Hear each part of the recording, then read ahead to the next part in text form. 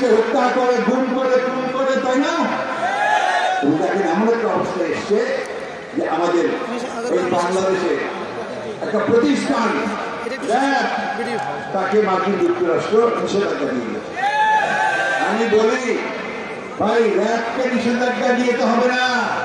নিষেধাজ্ঞা দিতে হবে সরকারকে হবে না। সরকারের নির্দেশে এই সব ঘটনা ঘটনা ঘটেছে বিচার বৈধ হত্যাকাণ্ডের ঘটনা ঘটেছে করে মেরে ফেলা হয়েছে ওনারা নাকি কিছু জানেন না। গুম কি হয়েছে তাও বলতে পারে না। অনেকে আবার কয়েকদিন আগে বললেন, কেউ যারা পালিয়ে যাচ্ছিল সাগর গেছে। অনেকে বলেন যে নাকি নিজেরা লুকিয়ে আছে। বন্ধুগণ, আজকে জাতিসংঘ পরিষ্কার করে বলেছে। জাতিসংঘের আপনার মানবাধিকার কমিশনের ডিজি কিছুদিন আগে এসেছিলেন তিনি পরিষ্কার করে বলেছেন যে এখানে গুম হয়। মার্কিন যুক্তরাষ্ট্রের যে রিপোর্ট বেরিয়েছে কয়েকদিন আগে, সত্তর পৃষ্ঠা রিপোর্ট, তারা বলেছে এই বাংলাদেশের মানবাধিকার নাই।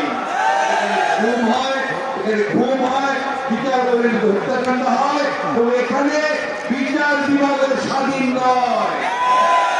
পরিষ্কার করে বলেছে।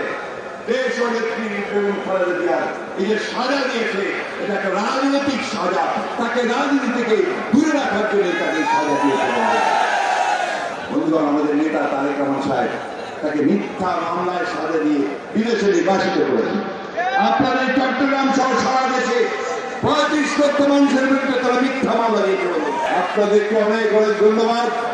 এই সমাজ সফল করবার জন্য আগামী দিনে আরও বৃহত্তর আন্দোলনের মধ্য দিয়ে এই সরকারকে পরাজিত করে আমাদের হতে পারি সেই লক্ষ্যে আমরা।